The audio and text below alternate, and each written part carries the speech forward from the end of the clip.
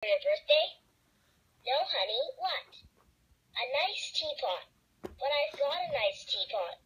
No, you haven't. I've just dropped it. oh, Jack, you've slept away the whole morning. Don't you know you are wasting time?